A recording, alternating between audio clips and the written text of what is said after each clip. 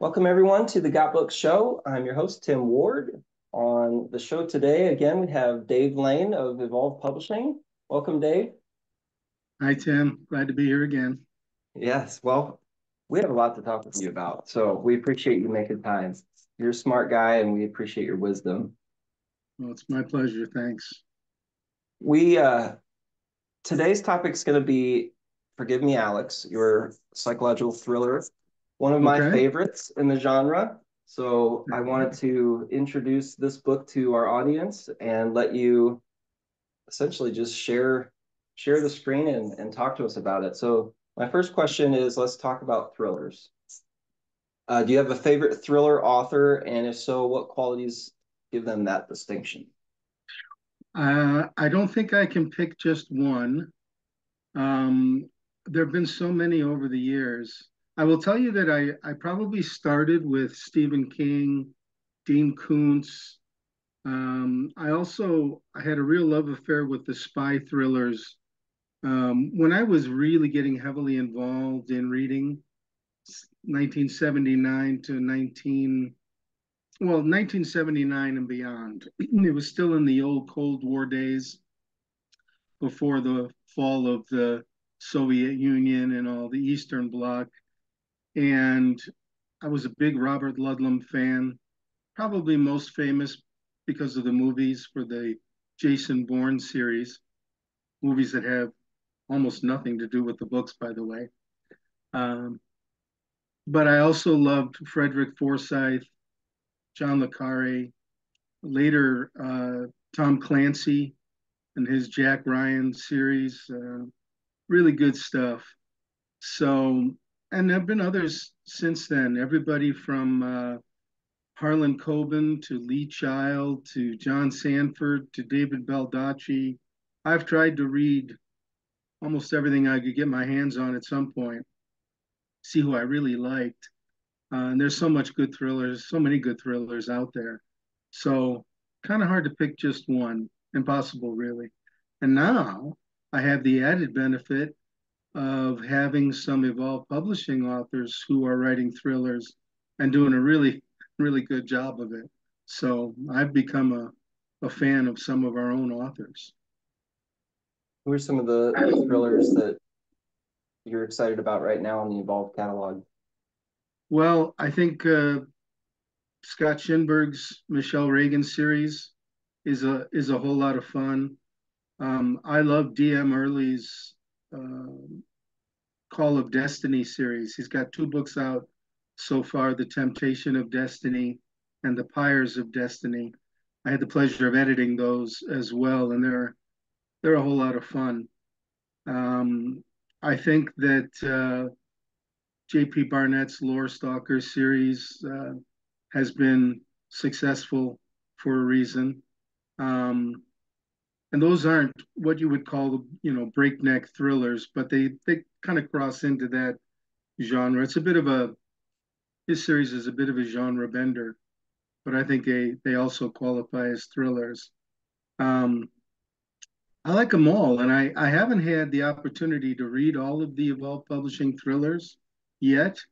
My schedule is just a little too busy. I read the ones that i that i edit of course but the others I'm having to pick through as I as I have time.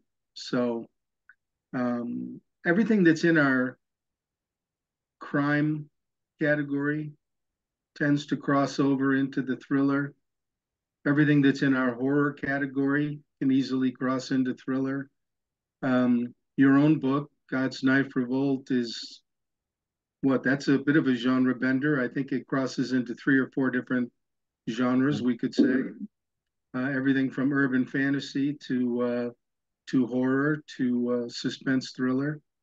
Um, as always, we're careful at Evolve Publishing about which ones we bring on board. So I I like them all. It's hard for me to single any particular ones out, but um, you can go to the Evolve Publishing website and click on that genres, thriller, suspense, and you're going to find plenty to choose from. Good stuff. So take us back in time to when you started writing Forgive Me, Alex. You were reading, uh, well, I guess tell me because I don't I don't know. When did you start writing Forgive Me, Alex? What was um I believe it was 1923. No. Um seems seems like I, I did a lot of, seems like I did a lot of training and preparation for that and that it took me about 20 years. So my foray into writing, I thought I would write a spy thriller back in the day. And I realized probably halfway through that I, I just didn't possess the knowledge that I needed. And I had to do a lot more research that I either didn't have the time or the access to. I was stationed overseas in the military at the time, and uh, this was pre internet days. So uh, it just proved a little too difficult. Then I tried my hand at a, at a horror novel, actually got through it, finished it, set it aside for a while, looked at it later, realized that it was absolutely terrible and a little embarrassing. And I really set it aside at that point. I just, it, it had to go away. But it was a great learning process for me. And um, then I got busy, you know, I, my career, my job, my day job, I, I was working 70, sometimes 80 hours a week and finding time to pursue that writing proved uh, difficult. And so I ended up coming to it quite a lot later in my mid 40s. And once I sat down to do it and said, okay, this is it, I'm going to devote myself to it, it actually only took me 11 weeks to write and then three years to revise. so that's, I was a little bit uh, crazy about trying to make certain certain parts of it as perfect as I could. No such thing, but I tried to get close it has some moving parts. I, there's one area I wanted to to talk to you about. Uh, first, I'm curious what what made the change. How did you go from I'm not going to write this, it's set aside to I'm doing this? Was there a character? Was there a setting, a scene? Well, first of all, there was a, a life event that made it, I, I want to say, not just possible, but almost mandatory that I do this. Uh, I had suffered a, a, head injury, my eighth concussion, uh, back in the early 2000s, and it it did a number on my head. I had post concussion syndrome, and for about three four years, I was almost non-functional. So, really, it really caused a big turn in my life, a big change. At the time, I wasn't even sure I would recover. Doctors couldn't really tell me. They didn't know a lot about post concussion syndrome in those days. They know more about it now, but uh, almost 20 years ago, it was still quite a mystery to them. And the brain is really the final frontier when it comes to medicine. Still, there's a lot they don't know. Um, I did recover finally, and um, but by now, I you know by that time, I had my whole life was turned upside down. I'd lost everything I owned, lost my job, lost everything my house, my car. I had I woke up one day, I had 38 cents to my name. That's that's a motivator. So. I sat down to write because it seemed the right possibility for me to have a future again. So I was really devoted to that point. I was I, I was still only able to stay awake, you know, maybe seven or eight hours a day at that time. Um, it wasn't that I was lazy and sleeping. It's just I just passed out. I mean, my head would just knock me out. So, but 11 weeks, and um, and I felt pretty good about it. But I knew that it needed a lot of polish, and I did shop it around to agents at the time. Got all the usual form rejections. Um, over the course of a couple of years, I made a number of improvements to it. I think it got much, much better. I know it got much, much better. And if I needed evidence of that outside of my own subjective opinion, because it's very hard for us to be objective about our own work, um, it was getting finally first one and then two and ultimately four positive rejections from literary literary agents who took the time to, you know, write a paragraph or two about how much they liked the book and the characters. and so there were other market reasons that they didn't accept it, but that told me that I was on the right track. I still made a few improvements even after that, uh, prior to going to publication with it in 2011. So it was a, uh, it was about a, a four year process from start to finish. You mentioned on a prior episode starting out a book kicking someone in the teeth. Is that part of the improvement process that you had for this? And what how does how does this book start with kicking the reader in the teeth? Well, the the it opens with two very short lines. I never expected to be a killer. Who does? So I always hoped that that would be intriguing enough to plant that hook. You know, you want to like when you're out mm-hmm. fishing, you want to plant that hook in the reader. You want the reader to say, "Okay, now see, this is something I might want to read." Um, and I think it, it's very important to do that early. So I, I focused on that. The opening uh, 12, 13 lines, the opening segment is set in what is current time for, for, for that book, 1995, and sets the stage that here's a guy who's got some issues. There's some things going on in his life. Then it flashes back 20 years to the first really pivotal event that started this transformation that he underwent. And then it comes back to, to 1995 again, 20 years back, and really sets up at that point the rest of the story.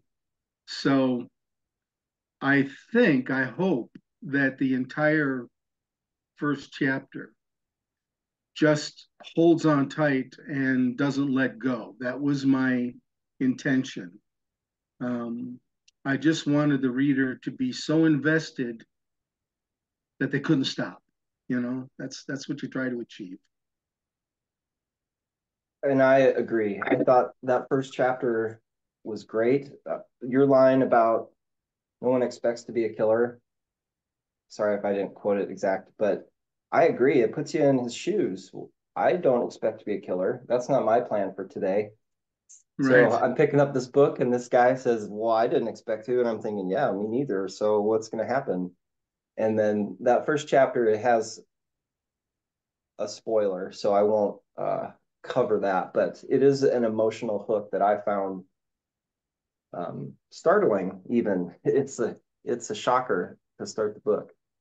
Well, you know, it's um, I set out to write a psychological thriller and when you use that word psychological, what you're really implying is that you're going to dig deep into the minds of the characters, but you're also going to force the reader to dig deep into those minds and perhaps into their own mind as they try to empathize or relate with these characters in some way or perhaps just really develop a visceral hatred for them.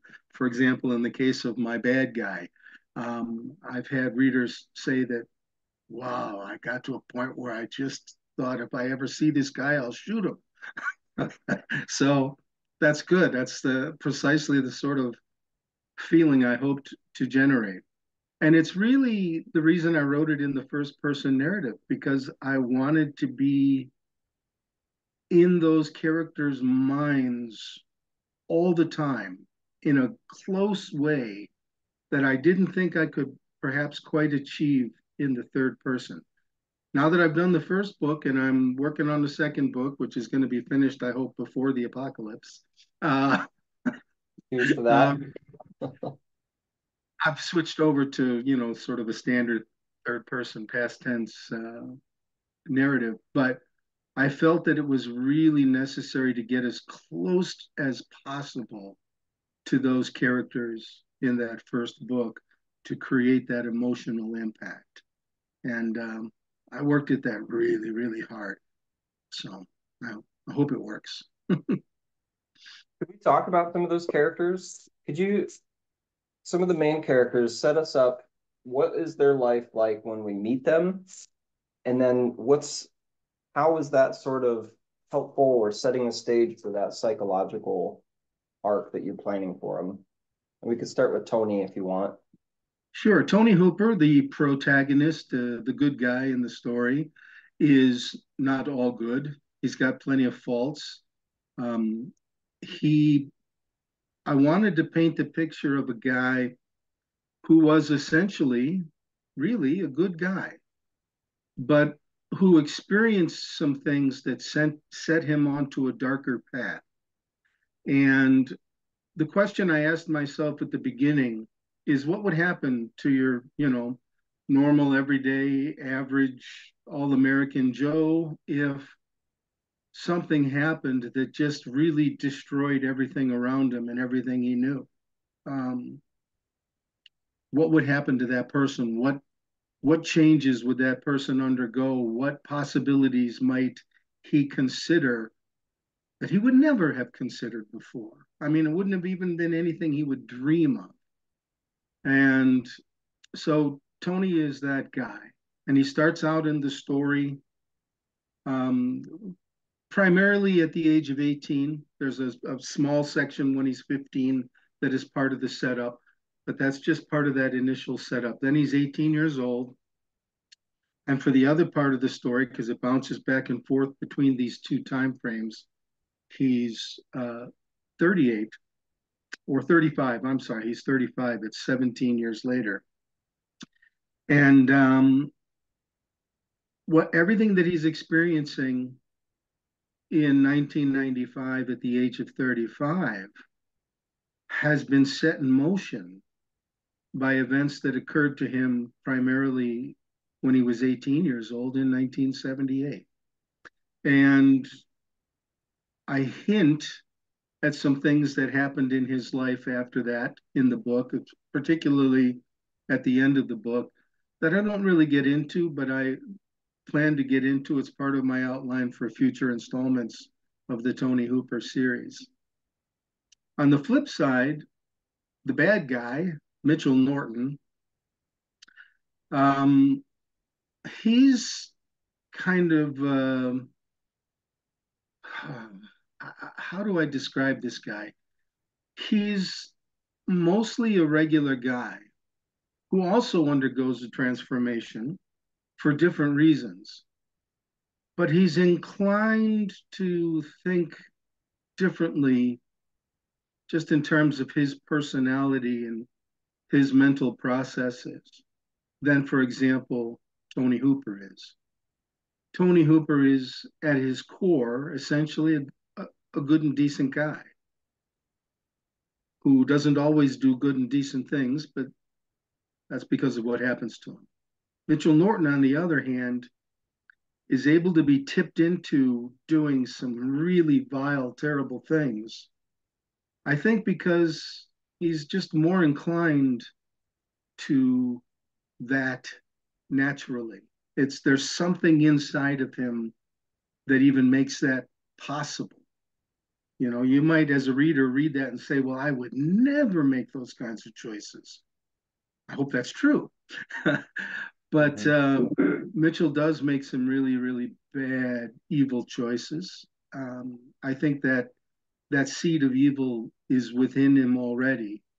And this thing that transforms him, I won't spoil it, but um, it only works to spoil or to change him because he's he's open and inclined to that kind of change anyways. So that's what I tried to capture. There's a little bit of romance in this too. It's a it's a heartfelt journey for Tony. Yeah. Some of that's a bit of a spoiler. So, is there anything that you want to share about any of the other female characters? Well, there are a couple of uh, critical female characters. One in Tony's life when he's 18 years old, and the initial events occur that throw his life into complete turmoil and another one when he's 35 years old and his life is returning to that old turmoil uh, because of what's happening at that stage. And so, you know, we are, we're human. We engage in relationships. It's a natural part of things. and it's a natural part of Tony's life. He is, despite his avocation, uh, if we can put it that way, not really his job, although he sometimes thinks of it that way. Despite his unusual avocation, um, he's you know he's trying to live a life. He's trying to to be as normal as he can be, and that includes some relationships. Now, at the age of 18, when all that early stuff happens, that's just the normal, you know, he's a senior in high school and has a big romance and his, his first true love and all of that. It's important. It shapes a big part of who he is. And it also further sets up his fall when his world comes crashing down. Um, how much loss? This was one of the key questions I kept asking in developing Tony's character. How much extreme loss can one person endure in a fairly short time frame without just losing it? And um, we put him to the test. so yeah, two the two primary field female characters, Diana when Tony is 18, and FBI agent Linda Monroe when he's 35. Uh, they become very critical parts of the story and of his life. And as far as the romance goes, I wanted it to be um, real. I wanted I didn't want to. It, I didn't want to hide anything that needed to be there to develop those relationships. I also didn't want to be too gratuitous. So there's there's a certain fine line that we as authors, uh, I think, I hope, try to walk. So I tried to walk that line, and I will tell you that I um, I started out being a little too mild in exposing those relationships. And I said, well, that's not, it's not working. It's got to be something more. And then I probably went a little too far and did get a, maybe a little too gratuitous at times. And so I said, no, I got to pull that back now. And so it took me a while to really find that, that what I ultimately decided was the happy middle ground. Um, so there are a few spicy points in there, but I hope that they're not uh, overly um, gratuitous. I don't I don't feel like they are. I felt like your the romance scenes, it was poetic and a fade to black in a certain element. It's more maybe metaphorical at some points, so it didn't feel too uh, gratuitous. Yeah, certainly in his early years with the Diana, that's what I I I tried to achieve. Yeah, because he was discovering love for the first time. So that's always a big deal for all of us. Well, it certainly is part of the hook to Tony and causing us to root for him and and to go through the mystery. It's it's always fun to try and ask an author about a, a mystery book because what what do we leave out in the interview, you know? So we have a time frame that we're shifting between the 17 years. How did you make all of this best translate to a, a progressive revelation for the reader. Is there a way to talk about that without spoiling it for them? I think so. I, I think so. And I it was obviously a challenge. Um, I finally decided that one of the things I needed to do for the reader was to keep them firmly clear about where they were at any point in time, what point in time they were in the story. And so I created chapter breaks, or perhaps if it's a very small break in time, section breaks within a chapter where I indicate the day and the date that all of these things are happening. So all they really have to do is pay attention to the chapter title and they know where they're at. Secondly, even though there are two separate time frames that we're moving the story forward in simultaneously. Each of them progresses in order within their own time frame. So if there's two chapters from 1978, for example, and then two chapters from 1995, each of those two time frames are progressing in a linear fashion. And they each progress side by side, if you will, throughout the, the course of the book.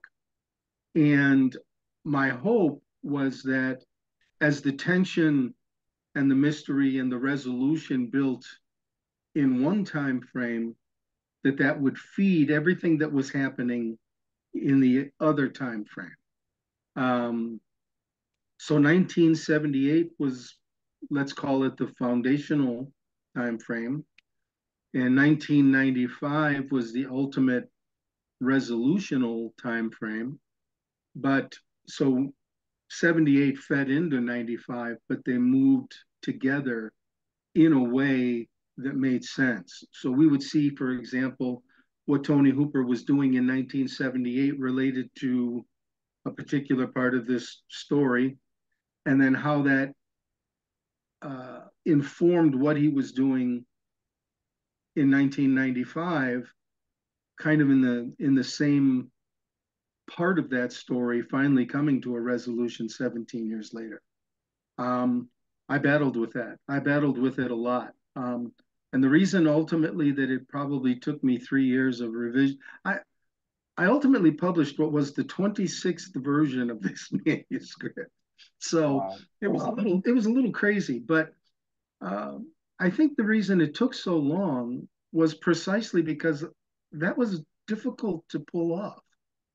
And I'll be honest, I've had a couple of reviews where people said, oh, I got confused by the time jumping, but only a couple. And I, out of hundreds of you know reviews or feedback I've gotten, there's only been a couple of people that expressed uh, a disappointment with that. Everybody else said it worked seamlessly. So um, it's hard to do, but I I spent a lot of time and energy on it.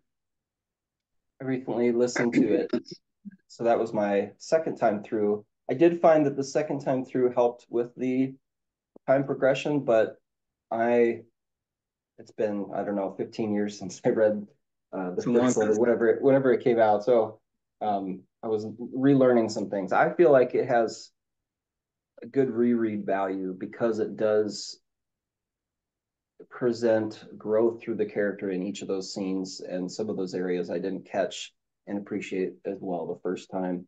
Um, I think it's great. It's one of my favorite thrillers because it's it is so character focused and it does keep you in the suspense all the way to the end. So I hope that book two comes out quick because I'm eager to read it. You know, it's funny as we were as I was preparing for our discussion here, I opened up book two the manuscript and I took a look at it and I continued my my self editing where I had left off. Uh, got a couple more chapters edited. I'm reacquainting myself with the story and because it's been a while and i'm really determined somehow some way to find the time to finish that thing this year. It's a it's a challenge with my schedule but uh, it's been too long and i desperately want to finish it. I mean i'm 35000 words into it so i'm probably more than one third of the way through. And, and i have the whole thing outlined. So now it's just a matter of getting it done, finding the time. It's, it's difficult, but I'll get there.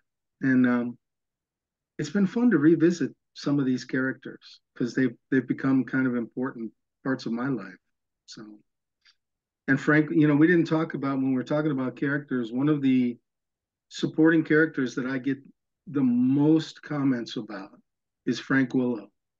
And Frank Willow is an older gentleman who really uh, kind of takes Tony under his wing when everything uh, crashes and burns for Tony. And uh, Frank is uh, Frank is an important part of the story. So, and I had a lot of fun with him as well. Yeah, he's he's a spark and a surprise. So I can understand why you didn't maybe cover very much about him. Um, he's he's one that I think can really well as a side character carry the series. He has some some background and uh, intrigue that I think will carry some more books. Yeah, um, he's also very very old. So, well, okay. so you killed him in the first chapter of book two. I get it. Whatever, no, I no, I didn't. I didn't. But uh, you know, he's uh, he's a really really old guy, so he he can't go on forever. Um, but I've had probably 30 or 40 people, either in reviews or in emails or notes or whatever, who've said, honestly, my favorite character in the book is Frank Willow. So it's like, wow, okay, I'll I'll take that. Yeah, I like Frank too. Uh, we just have a, a couple minutes, so just as the show host to give the audience some uh, context, we're going to have you back. We're going to talk a little bit through spoilers and have you share a little bit of your writing process. Um, okay. It's it's awesome to have you as an author uh, for readers, so they can check out your book and become fans like me. Uh, it's also a great resource to have you as the CEO of Evolved Publishing, editor, and uh, just looking forward to seeing behind the scenes on Forgive Me, Alex. All right. So well, I look forward to it. Before that episode, um, anything you want to say about Forgive Me, Alex? Where can readers find it? How can they find you as an author? Well, I you know they can go to lanediamond.com. Uh, that's my personal website. They can also go to evolvedpub.com. That's our website for Evolved Publishing. The title of the book is Forgive Me, Alex, and it's easy to find at any of those sites. And and you'll find there also links to any of the retailers, any of the formats you might be interested in uh, for the book. Um, it's um, the one constant complaint I have seemed to get, which is a bit of a double edged sword. It's a complaint, so in that respect, it's a negative, but it's also, depending on how you look at it, kind of a positive, and that is that people are complaining that I haven't given them the second book yet. So honestly, I'm I'm trying. I'm working on it. So I'm I'm making a little bit of progress, and I hope to continue that process. And I hope that before the year is out, the Devil's Bane, which is the title of the second book, will be out. And just to sort of set the stage for folks, the devil is in my book, and forgive me, Alex. That's that's how Tony Hooper refers to Mitchell Norton, calls him the devil. And um, so that's, I think, a, a title that is well earned by Mitchell Norton. Um, so I, yeah, I hope that's going to be, I hope that's, I hope I'll get that done this year. He's, he's terrible. So I look forward to seeing whatever happens. Um, and I'm here to help you too, Dave. I'm here to encourage you and and we'll we'll piece by piece our books together. That's what we got to do. We'll get it done. We'll get it done. I'm glad to hear you're getting back into your Godsknife series. That's great. I look I look forward to that progressing. Yes, well, you've encouraged me and I'm I'm trying to do the right thing. And uh, we were talking the other day just about story in general and character focused stories that Evolved Publishing focus on the character motivations. And I I had struggled as in writing the sequel about what what is the sequel going to be about. And it had been a few years since I had written it. Um, but you're just talking with you, it kind of eased my mind. Just think about the characters and what do they want? Like what what are those characters excited about in the sequel? So since we since we met, I started thinking about that and got some ideas.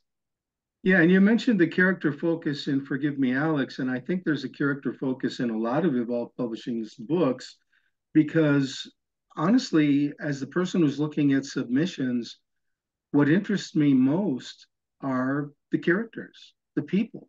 What you know, why do we care about them? Why do we want to even know about their story? If we're honest about it, every story's been told. Most stories have been told a hundred times or a thousand times or 10,000 times. We try as authors to, or uh, creators, and this is true of, in movies or whatever it might be, to put a new twist on an old theme or an old story. And what is at the center of that? It's ultimately the people. It's like, okay, well, that story happened to somebody else, but this is happening to this guy. Well, what makes this guy special? Well, this is what makes him special. So you build the characters. And I think that's what brings people back over and over. When I think about, for example, Tom Clancy's books, it was Jack Ryan that got me hooked. I just wanted to know what was happening with Jack Ryan. Um, I think about Lee Child's whole Jack Reacher series. I don't, I don't know what he's up to now 23, 24 books or whatever it is. I fell in love with the Jack Reacher character pretty early on. So I came back and read his books and read the next one and the next one and the next one. And at some point you can say, well, the stories are kind of similar, you know, but okay. But it's hmm. something new that's happening in this character's life. And I'm involved in that character, so I want to know about it. So for any authors, um, work on those characters, make the characters something special. And I think I can speak for readers out there that, based on what we've heard from readers, that yeah, give us the characters, man. I love the characters. That's what it's all about.